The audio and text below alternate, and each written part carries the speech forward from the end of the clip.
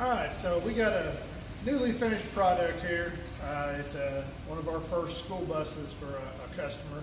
So, uh, you know, she named it iVan. So let's take a tour. All right, this is a uh, 2007 Freightliner school bus. It is a little bit shorter, uh, which is just right for the young lady that is going to be using this at kind of like a little travel travel around, see some of her patients, and uh, uh, get to see this lovely country.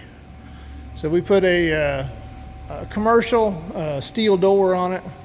It does have an RV window. I'm gonna apologize for the, you know, it's not the, the cleanest build right, or the cleanest right now because we took it down the road and uh, just to check for squeaks and it's raining and it's kind of nasty. So pardon the water drips and a little bit of road dust.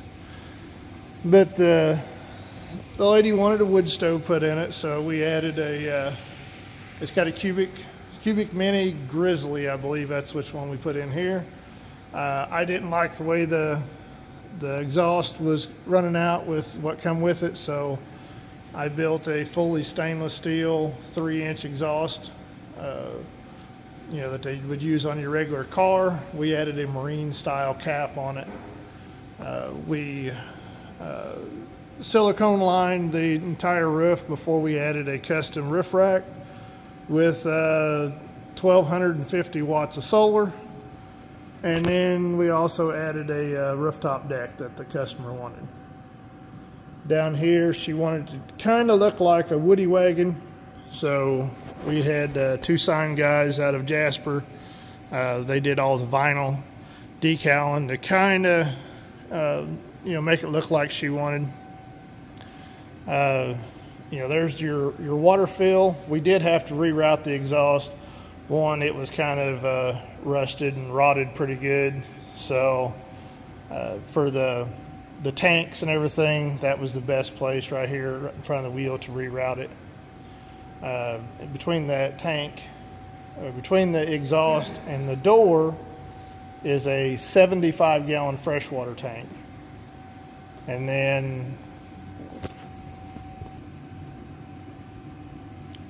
it's got a 75 gallon uh, freshwater tank. Uh, we also put uh, brand new tires all the way around on it and uh, new brakes, new brake rotors in the front. they were they wasn't bad, but uh, they were warped pretty good. Uh, so we went ahead and put all new calipers on it and brake pads and uh, ABS sensors. Back here at the back where the exhaust used to run out, comes straight out the back next to the fuel tank, is a uh, 30 gallon black water tank.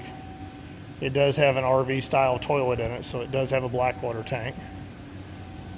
On the back here, you can see where we hung the uh, 12K Mr. Cool mini split that does run off of the uh, battery bank that's on the inside. Uh, we'll show you what we can of it here in a minute. We did have to completely reskin this entire bus. Uh, it was rusted out pretty bad. Uh, so rather than try to patch it with factory panels, we pulled everything off. Uh, a couple pictures of what that looked like here. Whole new uh, 18 gauge sheet metal on it. Right here is our uh, gray water tank. It has a uh, 40 gallon, sorry, 45 gallon uh, gray water tank for the shower and the sink. It has a drain there. That handle there is the drain for the black water valve on the other side. And then as we get over here, there's the gray water valve and then your, uh, your RV hose hookup. Or, you know, if you're just doing gray water in a lot of these places, you can just let it run on the ground. So we put a cap on there that you could hook a, uh, a garden hose to. That kind of, you know, makes the people that, you know, that it, they don't really know, uh, you know, what you're doing. It's just gray water. You're not dumping your black water. So if you have a garden hose, you know, they tend to not freak out near as bad. Again, uh, all new tires all the way around. We put a uh, undermount uh, LP tank in here. That is a 30 pound tank. Uh, yes, unfortunately, you do have to go somewhere to have that filled. It is a permanent mount. So as we come around, uh, the owner is the one that uh, that chose the the purple. It's a, um, I believe it's called Morning Glory. So that's our nice little tour around here. Uh, one thing we did upgrade to, um, it was kind of a safety thing because you know these the old headlights are they were horrible. So for $120, these are LED lights. These are the same ones I have in my personal van and I absolutely love them. You can see they're not too bright that they're blinding people. They're just a nice all-around light. So that's what we put on on this for her as we come around here to the to the entry door, uh, she didn't want to have to mess with keys all the time, so we added a uh, touchpad uh, lock on there. So as we enter,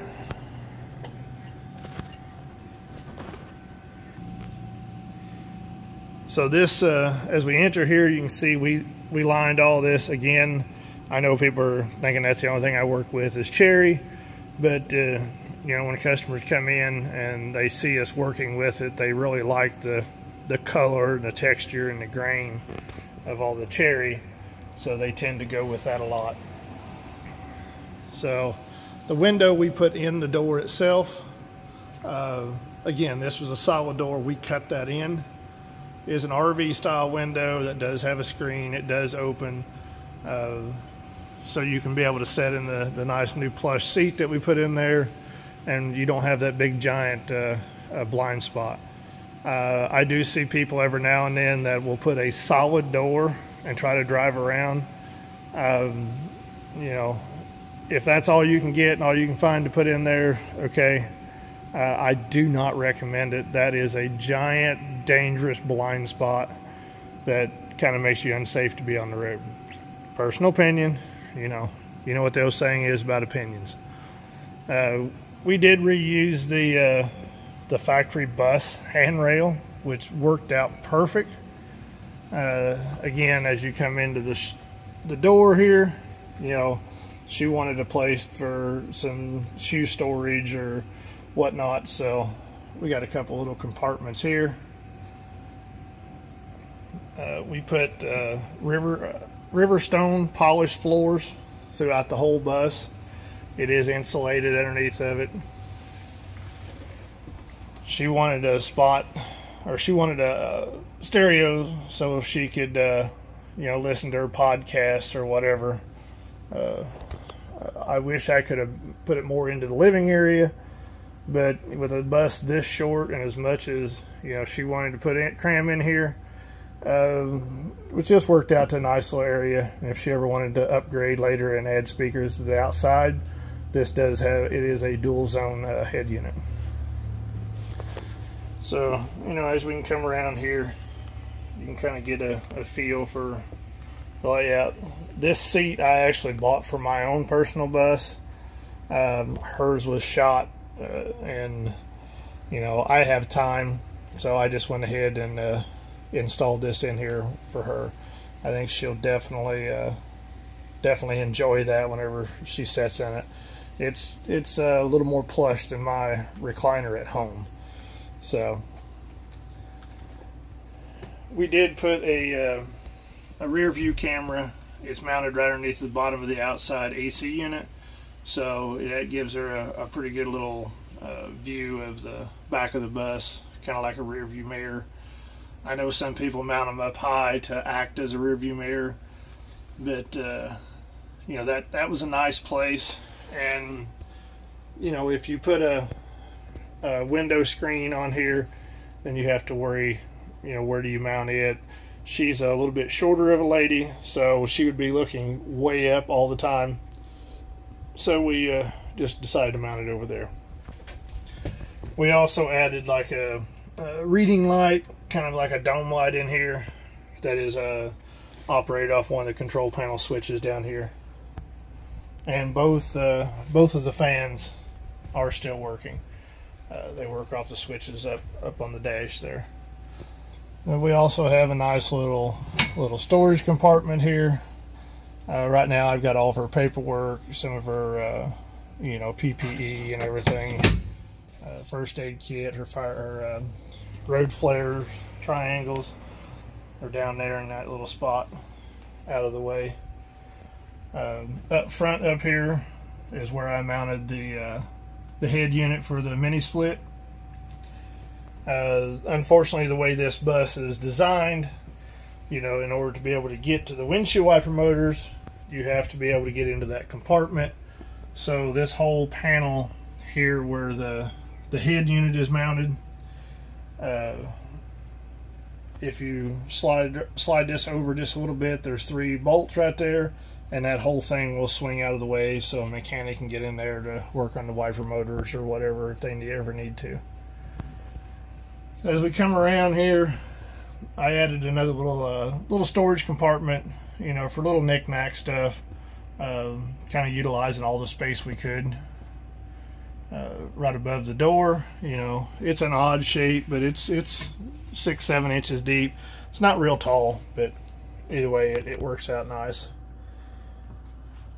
Let's get a view of the back of the bus here.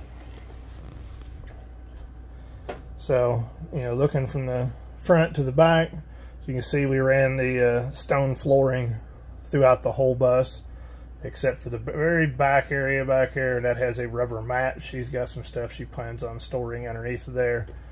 I figured it would be uh, a lot less likely for it to slide around. There is a, a uh, two inch aluminum lip right there underneath the cargo area. Again to try to stop anything from sliding forward. So here is her uh, her grizzly. Uh, initially I wanted to mount it with the door facing you know toward the center of the bus uh, for easier access but she wanted to be able as she was sitting at the, the dinette seating area to be able to see it but by facing it straight back it would have made it very awkward with the way the, the hinges were on the stove to put wood in. So we settled at a 45 degree angle there.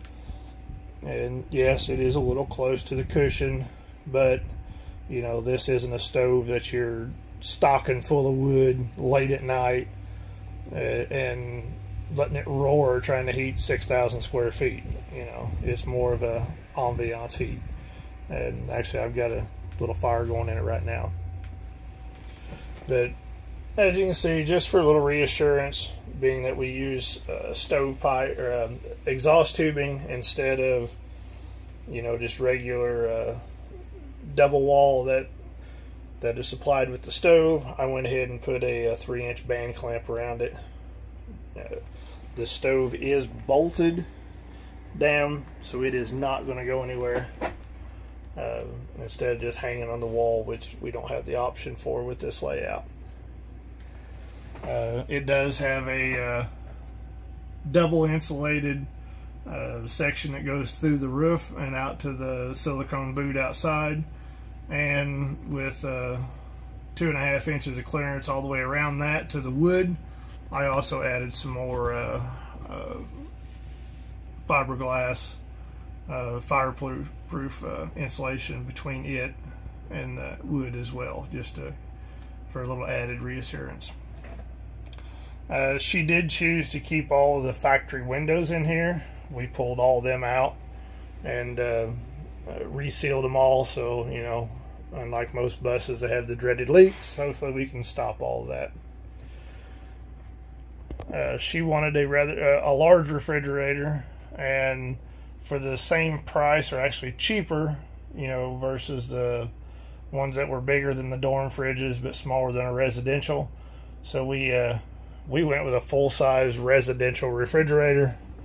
Um, being you know we end up using a residential stove, uh, so it didn't stick out much farther, and it was actually cheaper. Uh, brand new refrigerator, new stove, I mean, big freezer. That's actually bigger than what I have in my house. Uh, in behind this this little panel here, um, just because it's out of the way and it's not like it's something that you know you need to access all the time. Her um, Boost and everything is all in behind that. Uh, as we come around here, you can see the the full five burner uh, gas stove, full size oven.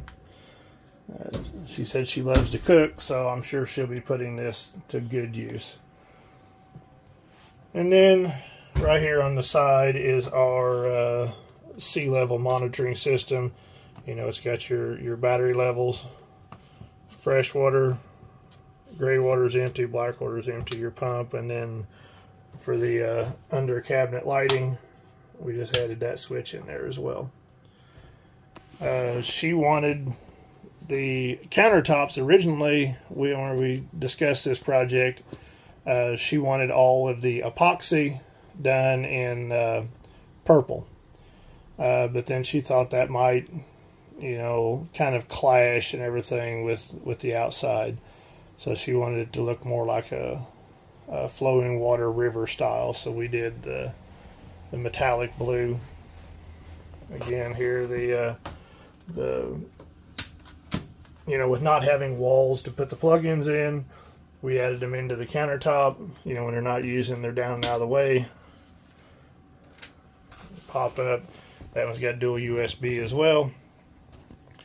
Uh, we also added some storage between the counter and the window. Same with down through here. Uh, this emergency exit is still fully functional. Flip the handle up, window will go out. And then as we get over here, you know, we still have another little one there that she could put uh, some kind of jars or something in to put uh, some of her bigger silverware or, uh, you know, your cooking utensils in. Now these uh, these pull knobs uh, she had ordered. Uh, so that's what we installed. They're not the not the greatest quality. I like the look of them, but uh, uh, it's a good thing she bought two sets because we've had some issues with them already. She got four nice deep. Uh, this one's a, a 24 full extension. This one here is just a 20 because of the, the way we had to build the cabinets in the back. another 24 full extension and your bottom one's a little bit deeper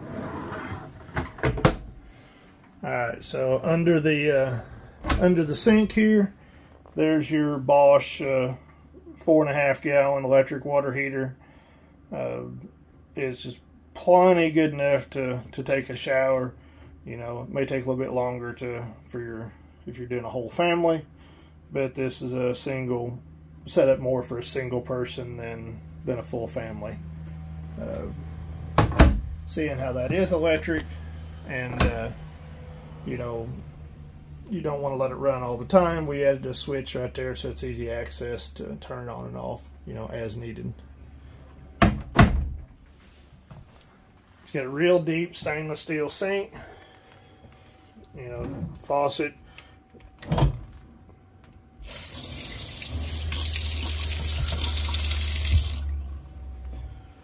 Uh, it also has a little basket and stuff that got to go in here, you know, to catch any food debris. Uh, she did not want the, uh, she wanted the sink accessible. Uh, she didn't want to have to mess with, uh, you know, the, the cutting board that normally gets put over top of it. Uh, just because, uh, you know, sometimes they can be a little, a little pain to, to move it around and find a place to put it and everything. So she opted just to have a surface mount sink. If you come around here, we have a 24 by 32 uh, RV shower pan that we put in here, corrugated metal for all the surround, you know, around the, the kitchen area and the shower. Nice little shower head. Uh, I like that one so much because it's it's more of a water saver style, but you still get a lot of coverage. I actually put one of them in my own camper. And then as we come around here to the uh, to the toilet area. Again, this the door and everything we built for this project. Uh, it has a, a magnet to hold the door open so whenever you're taking your shower, you know, whenever you step out, you can put your uh, your towel or whatever on the back of the door. You you know, you're not trying to do everything in the shower itself.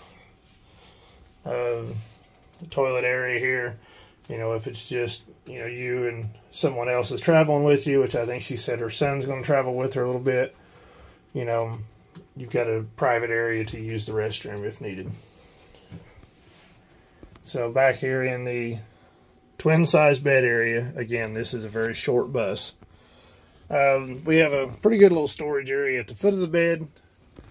We have a storage area, you know, above, you know, being how that's only a twin bed, uh, it didn't make sense to build a cabinet back there because, you know, you'd have to climb up on the bed anyway, uh, especially with the factory air, the rear air on this bus. That does work.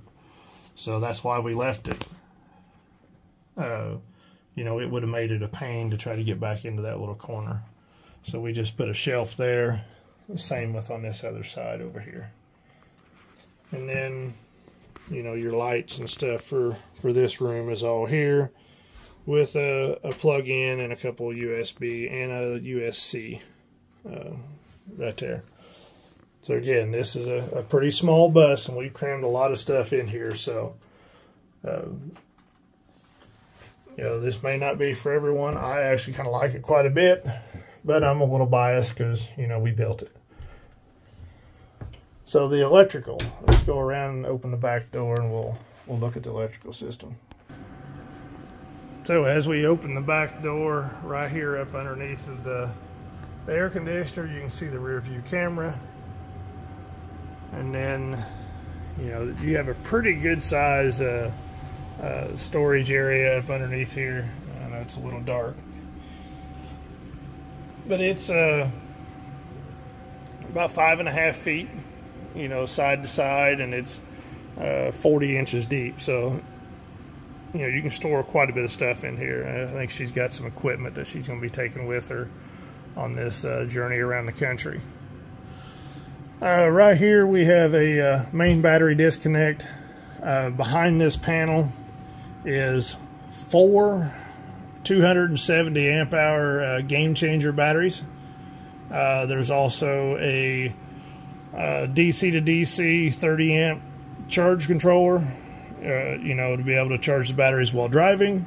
There is also a 85 150 Victron solar charge controller and a uh, 3000 watt 50 amp service uh, inverter. Uh, here we have a uh, your main 12 volt breaker and then your your uh, breaker for your solar panels and then a traditional uh, RV breaker box fuse box for servicing and and that's something I want to talk about too is when you're building your system, you know, most people worry about making it look pretty. You need to worry about making it accessible. I've had a uh, a van in here that was uh, built in a uh, outfit out in California. Looked great, but in order to get to the batteries, you had to dismantle the entire back of the van uh, in order to be able to access it in any way. Uh, we spent four hours just trying to disconnect one wire off the top of the battery before we finally just had to disassemble the whole van. Uh, so make your system accessible. You will thank yourself, others will thank you later. To access everything behind this, we've got four screws right here. This panel will slide to the side or slide completely out. We can get to the inverter, the batteries, everything. Uh, this system it does have a vent. Uh, it draws air from under the bus and this whole area is vented out the roof underneath of the deck up top. So it gets enough air in order to be able to stay cool. And there's also a, uh, a heater in there. Yes, it's an electric heater, uh, a heating pad that uh, batteries are sitting on. So in cold weather, she can turn that on and uh, uh, be able to make sure the batteries don't drop below uh, below freezing. And then back here is our, you know, 50 amp shore hookup. So I believe that is everything on this bus. Um, this bus was here way too long uh, due to some personnel issues we had here for a little while. Uh, we no longer have them, so that is not an issue.